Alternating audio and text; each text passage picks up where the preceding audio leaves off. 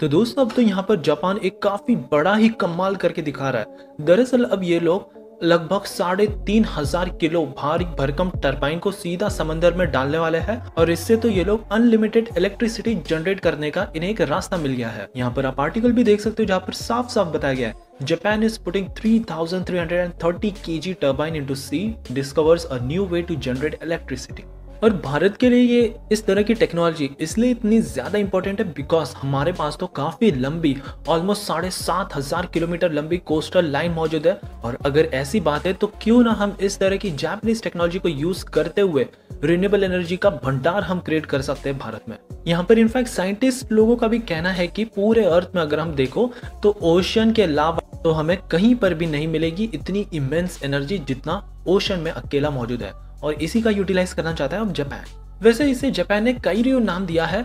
इस पूरा स्ट्रक्चर की लंबाई है 20 मीटर्स की और इसे एरोप्लेन की शेप में बनाया गया है। यहाँ पर दो भारी भरकम सिलेंडर्स है ऑफ़ इक्वल साइज़ जिसे फिर 11 मीटर लॉन्ग टर्बाइन ब्लेड से कनेक्ट कर दिया जाता है। अब आपको बता दें कि इसे मैन्युफैक्चर किया है I H I corporation that means Ishikawajima Harima heavy industries जो कि एक जापानीज कंपनी है।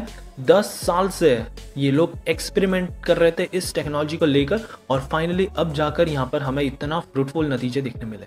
अब ये टेक्नोलॉजी जापान के लिए और भारत के लिए भी इसलिए इतनी ज़्यादा इंपॉर्टेंट है बिकॉज़ हम दोनों के यहीं पे साइक्लोन सर्कुलेशन होता रहता है। अक्सर आपने देखा होगा कि जापान में तो काफ़ी बार होता है बट इंडिया में भी यहाँ पर हमारे जो कोस्टल एरिया से जैसे गुजरात के फिर नॉर्थ ईस्ट के जो कोस्ट लाइन है वहाँ पर काफ़ी बार काफ़ी इलाकों में साइक्लोन जैसी सिचुएशन आ जाती है। सो so, ऐसे समय में यहाँ पर इमेंस करंट को हार्नेस करके हम आराम से बहुत ही ज़्यादा एनर्जी को जनरेट कर सकते हैं ऑलमोस्ट 205 गीगावाट ऑफ़ इलेक्ट्रिसिटी जो कि अपने आप में ही बहुत ही ज़्यादा मैसिव है। और ये जो कैपेसिटी ये तो ऑलमोस्ट पूरे जापान की लगभग कैपेसिटी ही है।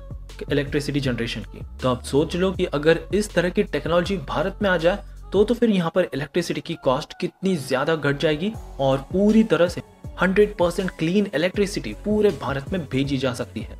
वैसे इसकी स्पीड की बात करें तो ये लगभग प्रोड्यूस करता है 100 kilowatt of power at a flow of 2 to 4 knots that means 1 to 2 metre per second जो कि एक विंड टर्बाइन जो शोर पे इंस्टॉल किया है, उससे तो कई गुना ज़्यादा है। वैसे इस टेक्नोलॉजी को भारत में लाना चाहिए या नहीं, इसके बारे में आपकी क्या राय है? डेफिनेटली कमेंट्स में बताइएगा।